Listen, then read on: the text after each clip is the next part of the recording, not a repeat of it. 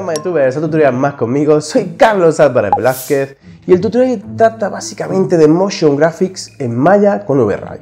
Sí, lo que vamos a conseguir es generar unas moléculas eh, unidas entre sí por una fibra óptica. Esto tiene muchísimos usos para vuestras intros de Remorril, para arquitectura en interiores, por ejemplo, para una lámpara de fibra óptica, para juegos, para hacer una medusa, lo que queráis, la imaginación al poder.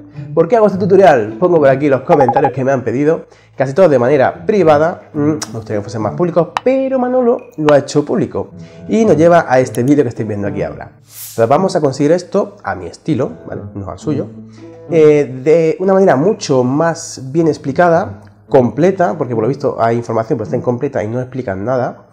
Y vamos, o bueno, mejor enseño el resultado mío. Ahí lo estáis viendo. ¿Qué os gusta? Bueno, lo quito. Importante destacar, aparte de todo lo que estáis viendo aquí, es que vamos a hacer las curvas visibles en VRay, ¿vale? Con dos métodos. Y esto es muy importante, ¿vale? Sobre todo para si queréis hacer cables en vuestras edificaciones, etc, etc, ¿vale? Bueno, quito esto y al lío que me enfrío. ¡Hey! ¿Qué pasa, youtubers? Hoy no tengo preparada ninguna escena, lo vamos a hacer desde cero hasta el render. Sí, la primera que vamos a hacer esto, más o menos.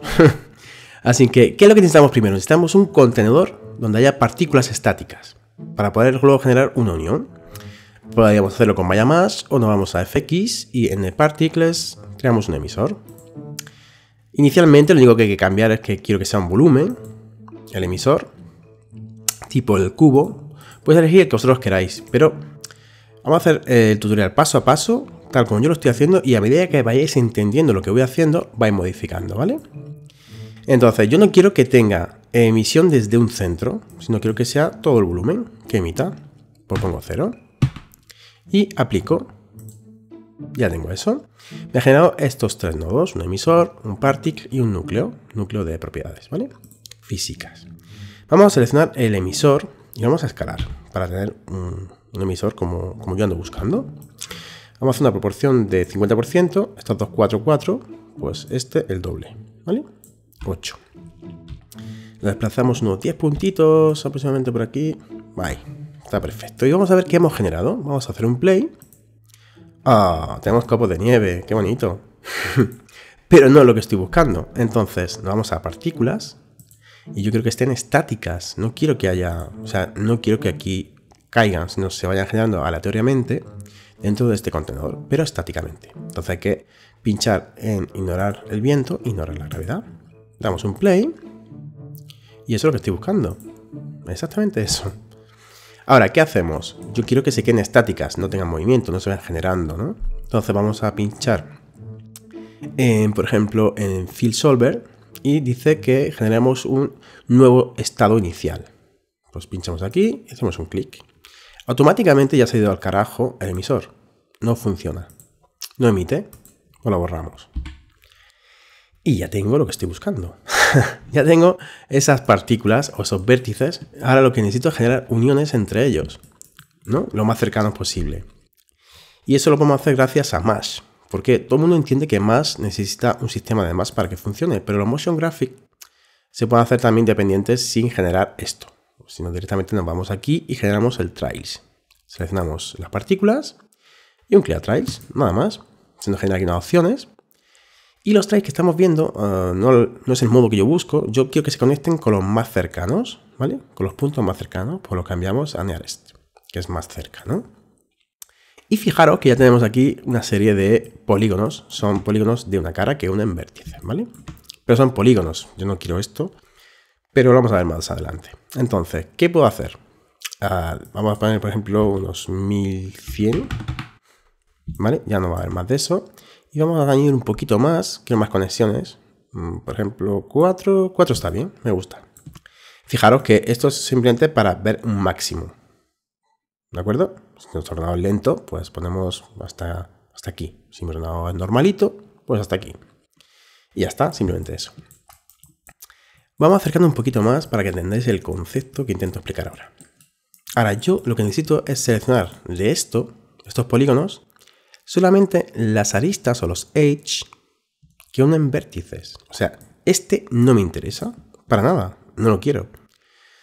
Podríamos borrarlos, podríamos seleccionarlo uno a uno, este, este, este el que busco y este el que busco. Sería un caos hacer todo eso con tanto vértice, ¿no?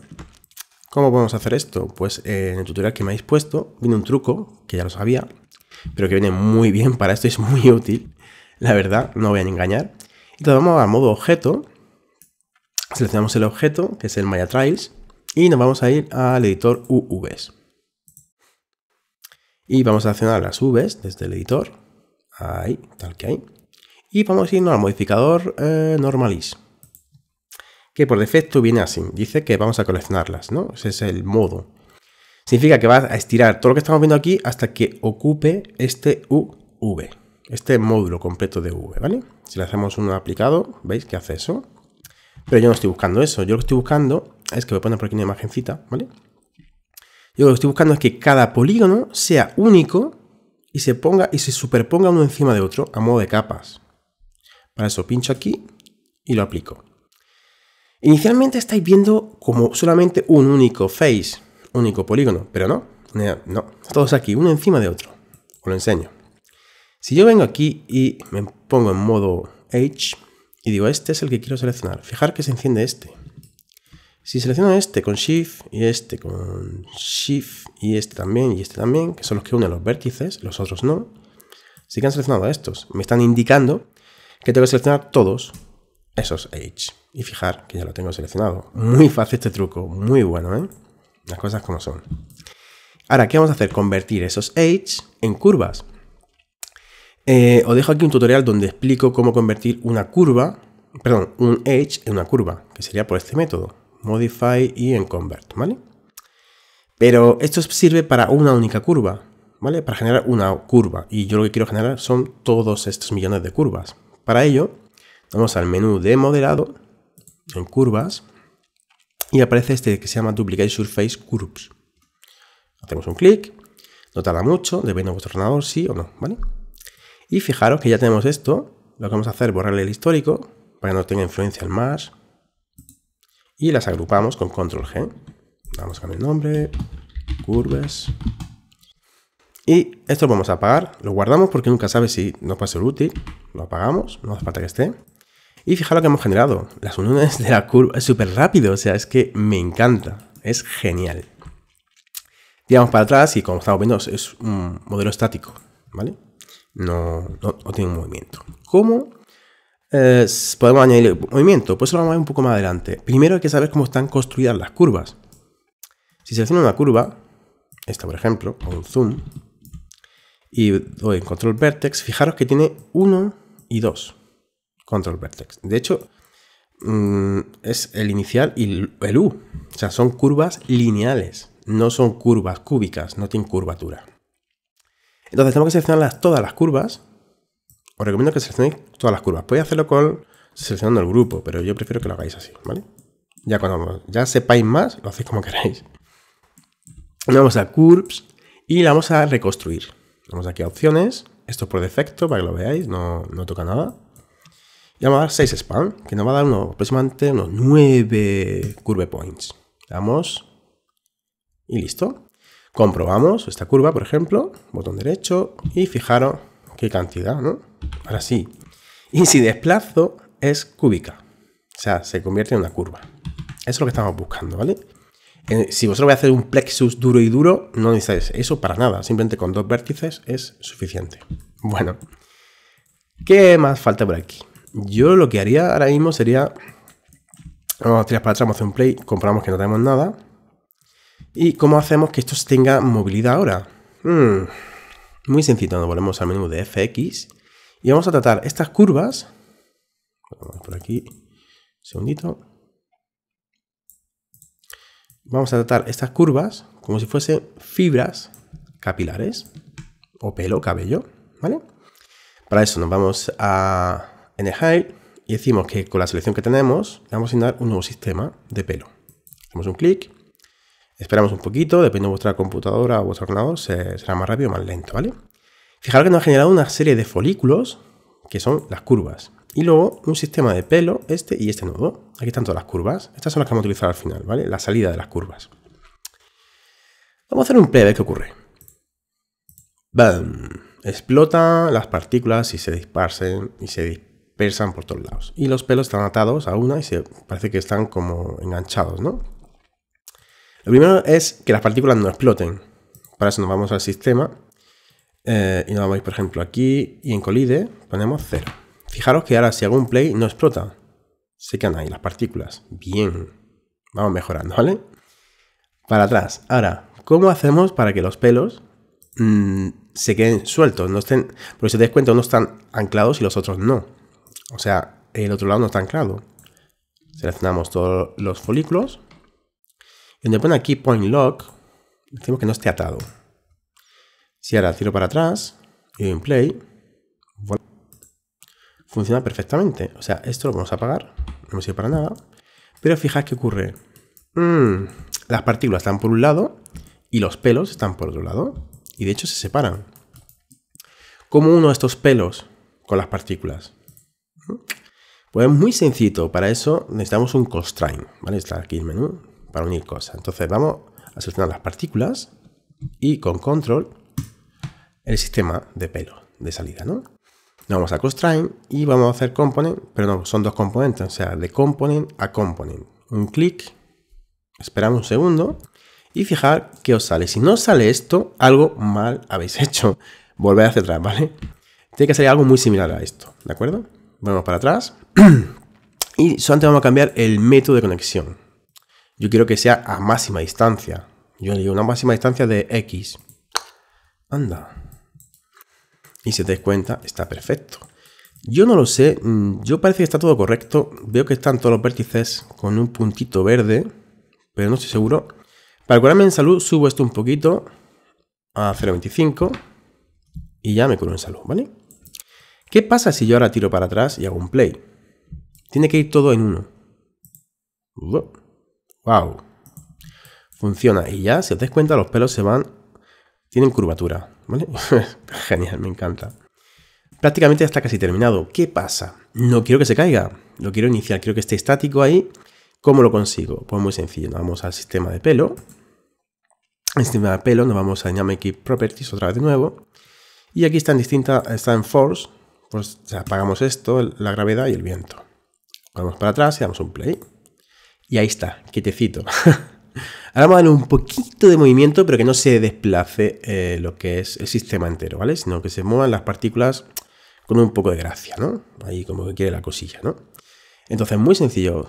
Para eso vamos a añadir a un campo, ¿vale? O campo efecto atmosférico. Por ejemplo, turbulencia. Pinchamos aquí. Yo voy a dar un truco. Yo lo uso así. Yo, el número que pongo aquí, lo divido entre 10 para la frecuencia. O sea, la magnitud. Vamos a poner, por ejemplo, 100... 150, ¿vale? Y la frecuencia, pues lo divido entre 10, 15. Lo creo. Y ahora vamos a tirar para atrás y vamos a hacer un play. ¿Qué ocurre? Fijaros, se va moviendo. Pero es sutil, es bello, es bonito, ¿no? bueno, si buscáis algo más bruto, dale más magnitud. O podéis escalar la turbulencia, ¿vale? Y será mucho más fuerte, ¿no? Perdón. Tiramos para atrás. ¿Qué os parece? Vamos a generar una cámara antes de continuar. Vamos a crear la cámara. Cámara y la vamos a colocar en una posición, por ejemplo, tal que aquí. Ahí. Y subimos 10 también. Vamos a dejar ahí. Ahora vamos a configurar lo que sería el motor de render, que os vais a ver que es una chorrada lo que voy a hacer. Pero el resultado final es una pasada. Y no chupa, no consuma, o sea, no consume recursos. Aceptamos aquí la cámara, Vamos a seleccionar Full HD. V-Ray lo vamos a dejar en Progressive. Voy a dejar por aquí un tutorial en el que yo explicaba que el Progressive era un método malo. No era malo, aquí no quería meter más, mucho más teoría. Estaba un minuto y, dije, y decía que tardaba mucho y tal y cual, pero era para no meteros más, más temario, ¿no? Pero viene muy bien para hacer animaciones. O sea, si pongo que dure el frame 3 minutos, sé lo que me va a durar renderizar una animación de 1000, ¿vale? Serían 3000 minutos, ¿vale? y así lo controlo mucho más. El GI lo dejo apagado, no lo vamos a encender. El setting, pues ya sabéis que esto hay que ponerlo a 4, por ejemplo, como máximo. Y aquí activamos esto. Poco más. Bueno, en setting yo tengo mucha memoria RAM, pues a cero. No toco nada más. Fijaros, nada de nada, ¿vale? ni aquí. Está todo por defecto. ¿De acuerdo? Bueno, cerramos aquí y nos vamos a venir a la perspectiva en cámara y vamos a delimitar la cámara, la visión de la cámara, eso es lo que vamos a ver. Y vamos a hacer un play. Muy sutil y muy bonito, la verdad es que me encanta. ¿Qué faltaría por aquí? Vamos a darle un poquito más de movimiento, ¿vale? Para no ser tan estático, casi estático, ¿no? Por eso nos venimos aquí a perspectiva. Vamos a generar, por ejemplo, un Platonic. Uso el Platonic porque me gusta. Mm, son, porque sé seguro que van a ser polígonos de cuatro lados. Uy, perdón, que me he colado. Le damos subdivisión, subdivisión aquí. Si usáis un malla inferior a este, un 2007, un 2016, un 2015, creáis el Platonic, ¿vale? Y le dais subdivisión dos veces. Y sale lo mismo que voy a hacer ahora, ¿vale? Igual. Se no cambia nada, simplemente porque la mejora es que sea más cómodo aquí, ponemos un 2 y ya está, ¿vale? Vamos a darle un radio de 3 aproximadamente.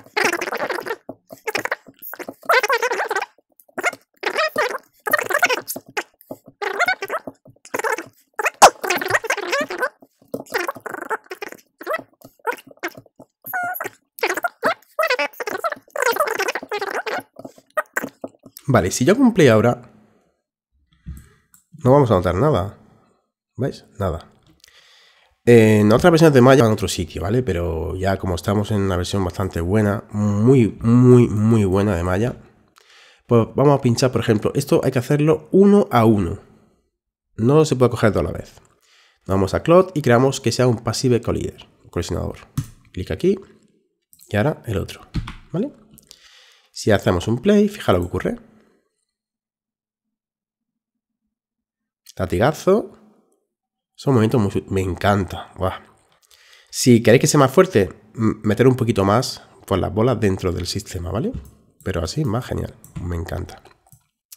Vamos a la perspectiva en cámara. A ver qué ocurre. Esto es lo que vamos a renderizar. Qué bonito. Me encanta. Perfecto. ¿Qué ocurre?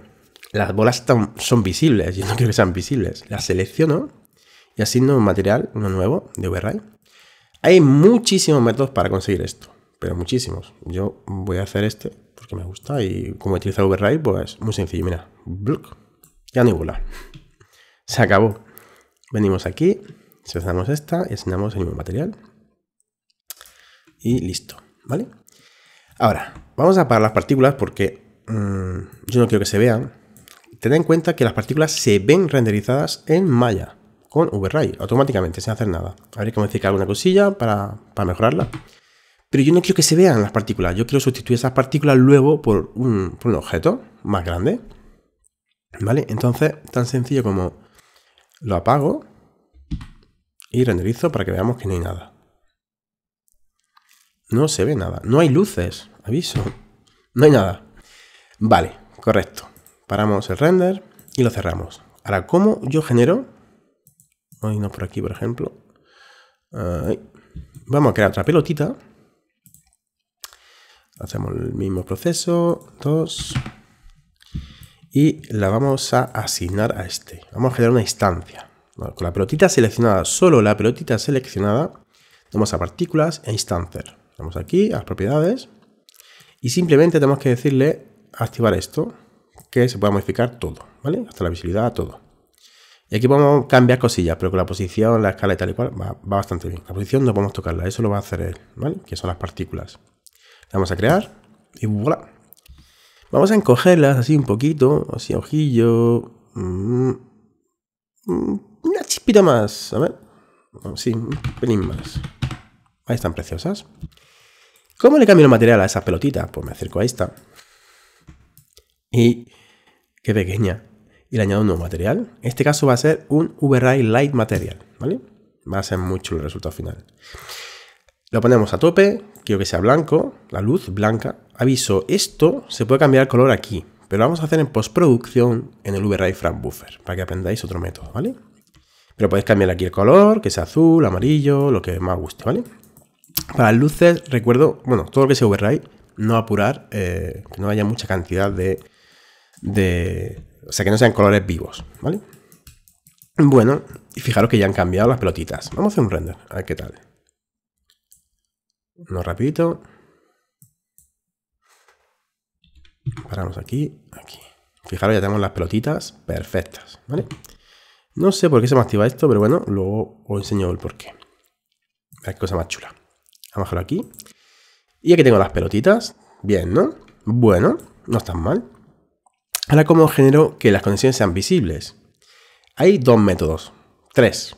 En, ahí no verá. Yo voy a enseñaros dos, no los tres, prácticamente los tres. Yo estoy haciendo, por ejemplo, aquí una curva. Perdón, esta curva. Y en atributos, pincho Nube Array y me aparece esto. Esto es para hacerlo en una, en una en una curva, ¿vale? No muchas a la vez. Yo ya he aplicado eso, vengo para acá y lo activo. Hago un render y me va a aparecer pues este monstruo, ¿vale? Ya la curva es visible y si quiero hacerlo con todas, que es una locura, ¿no? Hacerlo con este método. Entonces, tan sencillo como lo apagamos. Y nos vamos a venir por aquí. Y vamos a seleccionar todas las curvas, en este caso son las de salida del pelo, ¿vale? Son las que estamos utilizando ahora. Seleccionamos todas con Shift, ¿de acuerdo? Y vamos a generar un único nodo y dentro de ese nodo vamos a echar todas estas curvas y vamos a modificar el nodo. Mucho más cómodo, ¿no? Para eso nos vamos aquí a Override, botón derecho, y a generar, este es el tercer método, pero es una locura, o sea, va a generar un nodo por cada curva, y teníamos control sobre cada curva, pero son muchísimas y una locura. Con uno es suficiente, un único nodo que domine todas. Clic, y aquí lo tenemos abajo, ¿lo veis? Entonces, ahora si yo doy a render, tengo mi plexus rígido, precioso, me falta que las bolas sean más grandes o encoger un poco esto. Vale, a, vamos a darle un play. Un poquito más. Tal que ahí me gusta mucho. Bien. Vamos a hacer un render inicial para que veáis cómo está. No me gusta. Lo primero que vamos a hacer es añadir el material de luz. ¿De acuerdo? Pues uh, Light y lo configuramos igual. Plan. Damos a un render. Y aquí lo tenemos. Perfecto. Vamos a tirar para atrás. Y aquí tenemos unas opciones. Yo puedo hacer que, por ejemplo, activo esto y que el final de, el final de la curva tenga una sección, por ejemplo 0,05. Y el inicio de la curva tenga 0,1. Doy un render y fijaros qué ocurre. ¿Vale? Aquí tiene una sección y aquí se va haciendo cada vez más grande. O directamente puedo configurarlas todas a la vez, tanto el inicio como el final, desde una. O vengo aquí, lo quiero más finito. No. 0,05, por ejemplo. Me gusta ese. A ver. Y voilà. Tengo la misma sección para el inicio como para el final. Y una sección bastante bonita. ¿Qué os parece? Ya se va apareciendo un poquito, ¿no? Pero hay un pequeño problemita. No habéis dado cuenta, supongo, pero aquí las curvas son curvadas. O están curvadas. Tienen, ¿no? Y aquí sigue siendo un plexus, es recto. ¿Cómo hago esto? Pues la teselación pongo, por ejemplo, un valor inferior a 1. Vamos, por ejemplo, poner 0,5. Y si vuelvo a hacer un render, ya las curvas sí tienen curvatura, ¿vale? Como estamos viendo, comprobamos que son exactamente iguales. Y ahora, ¿qué pasa? ¿Por qué se ve tan feo, tan nulo, no? Vamos a hacer una cosa, vamos a verle... Bueno, eso lo vamos a dejar al final. Mm, ¿Por qué se ve súper plano? Porque hay que jugar con los efectos de depth of field, o profundidad de campo, o DOF, o ZDEP para conseguir un efecto de mm, desenfoque, ¿no? Bueno, vamos a ir a configurar la cámara primero. Vamos a conseguir ese efecto. Activamos de la cámara el Physical Camera de VRI. Vamos para aquí para abajo. Tal que ahí, la activamos. No me voy a centrar en explicar todo lo que voy a hacer ahora, porque hay un tutorial bastante muy bueno, creo que uno de los mejores que he hecho, sobre cómo funciona eso. Voy a dejar aquí el tutorial y simplemente quiero que tengáis en cuenta esto. Esto para tener una cantidad de f-number. Compensación del ISO. Voy a activar especificar foco. 9 aproximadamente. La distancia creo que, creo que es. El billete lo pongo a 0.35 aproximadamente. Y activo el Depth of Field. Simplemente eso. Hago un render y fijaos qué ocurre. ¿Por qué no explico eso? Pues ya he dicho que os dejo el tutorial. De, verdad, ver ese tutorial que es muy bueno. Voy a pararlo aquí. Y vamos a darle el color, el tinte, ¿no? Lo vamos a hacer desde eh, el postproducción, desde el VRA Frame Buffer, que es esto. Vamos a cargar, por ejemplo, un dot correction que tengo aquí. este me encanta. Hay uno azul, ¿vale? Fijaros qué cosa más bonita. O sea, es que es una pasada. Y si activo ya el Glare, ya flipáis. Voilà. ¿Qué os parece? Modificar lo que queráis. Si tú bajas esto, por ejemplo, lo pones aquí. Voy a poner más azuloncillo, ¿vale? Ya, eso a vuestro gusto. ¿Vale? Pues cambiando el tono. A mí me gusta este, que me ocurra bastante, y es una pasada. Así que voy a dejar con la animación final.